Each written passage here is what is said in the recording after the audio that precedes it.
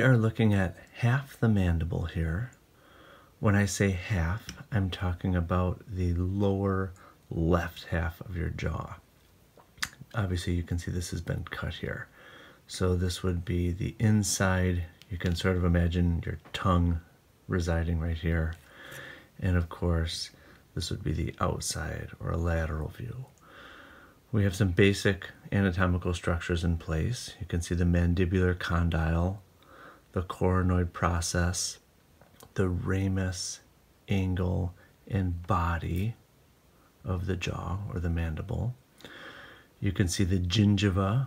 Gingiva is uh, kind of just a fancy way of saying our gums. And of course, you can see the teeth. Now, a full set of adult teeth or permanent teeth are 32. So you can sort of think of that as four sets of eight.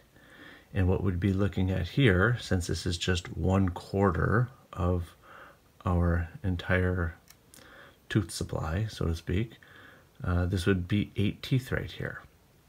And I'm going to start right here in the middle and kind of work my way back to the side. So if you look in the mirror and you look at your lower teeth right in the middle here, those would be what we call the incisors, and you'll see four of them lined up. Now remember, this is just half, so you're only seeing two. That makes this the central incisor. That makes this the lateral incisor. And after those straight teeth there, you get to one that has sort of a sharp angle to it. Some people call it the canine tooth. It's the cuspid.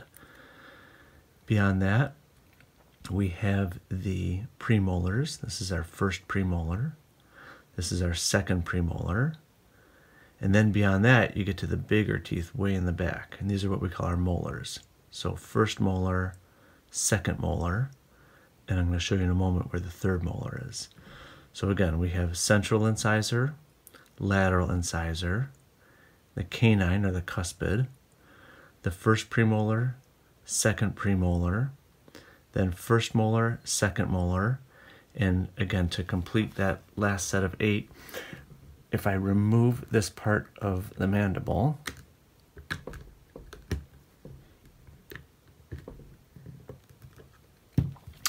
you can see that third molar underneath there. This is what would we consider a non-erupted tooth.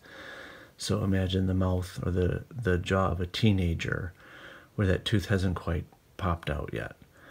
This one is sometimes called the wisdom tooth. You may have heard that term before. Uh, you'll probably remember the phrase, with age comes wisdom. So again, with age comes this wisdom tooth. It's sort of the last, usually the last of the teeth to erupt. Another thing you'll see down here, which is kind of neat on these models, is if you enter on the medial side here, this mandibular foramen, you'll notice there's a blue, a red, and a yellow line coming in here. Blue and red, of course, represent blood supply. Yellow represents nerve supply. So the blood and the nerve supply that come through here is the same blood and nerve supply that goes and feeds each of these teeth through the roots. So you can see them coming here, coming here, feeding, feeding, feeding, feeding.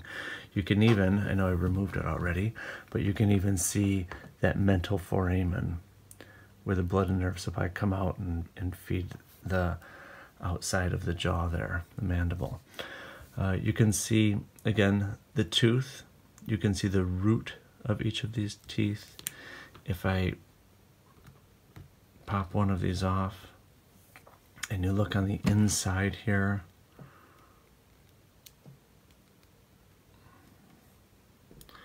you can see layers. So you can see the enamel on the outside, you can see the dentin, and you can see the pulp.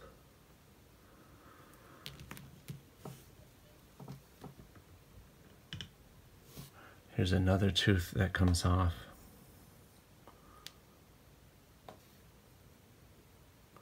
If I take this one apart,